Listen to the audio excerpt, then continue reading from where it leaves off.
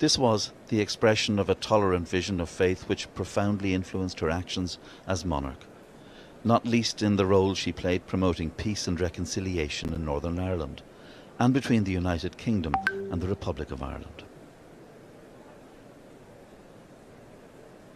There was the example she set in Ennis when Queen Elizabeth walked from the Anglican Church, Scotland, Northern Ireland, and England. In less than half an hour, the tenor bell will begin to toll here, and will toll every minute for 96 minutes, reflecting the years of Queen Elizabeth's life.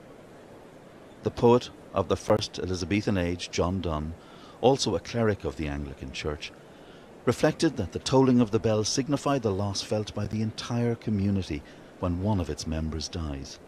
He wrote, And therefore never send to know for whom the bell tolls.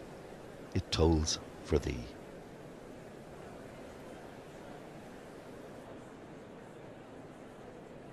We've seen them really taking a, a part since uh, the death of the Queen. I mean, and what a, an extraordinary day for them to embark on their first royal procession, as we're going to see at Westminster Abbey. But I think everyone was very keen that they should play a central role today. We saw the Queen Consort, didn't we? And we saw the Duchess of Sussex as well, I think, in one of the other cars. Um, some of the grandchildren arriving.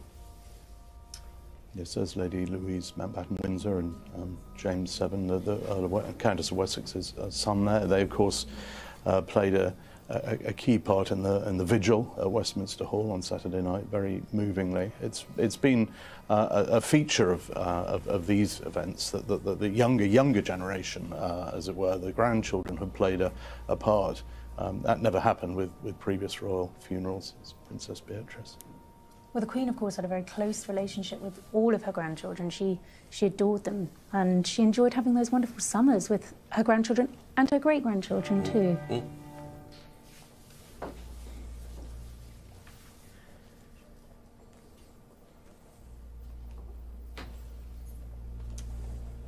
Here we are in the Abbey congregation now, more or less all in place now that the members of the royal family have uh, joined, but not all of them, of course, because the King and senior members of the royal family are across the road in Westminster Hall. They're at the Palace of Westminster.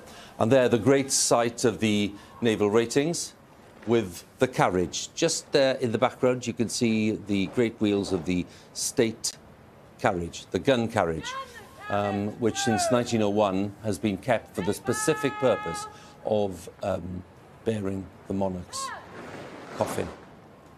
And the naval ratings will be in charge of taking that heavy carriage with the Queen's coffin, initially to Westminster Abbey, and then from there to Wellington Arch, ready for the rest of the journey by road to Windsor.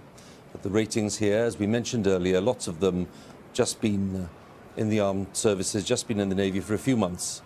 And uh, what a remarkable day for them, and what a remarkable duty for them to be shouldering.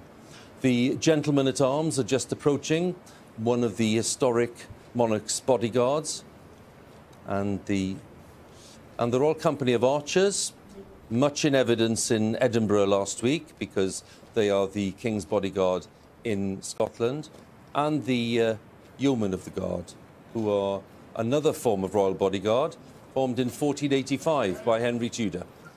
Uh, the Gentlemen at Arms, uh, slightly younger institution from 1509.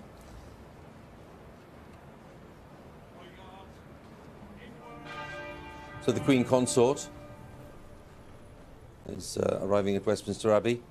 I'm talking to David Hoyle, the Dean of Westminster um, being shown in and uh, welcomed. And they'll be making their way all the way down the nave. George and Charlotte, the Prince and Princess, uh, looking immaculate. Yes, I mean, I think we, we've come to expect nothing less of these two mm. lovely royal children. And I'm just thinking back to the service of Thanksgiving for the Duke of Edinburgh, and they were there too.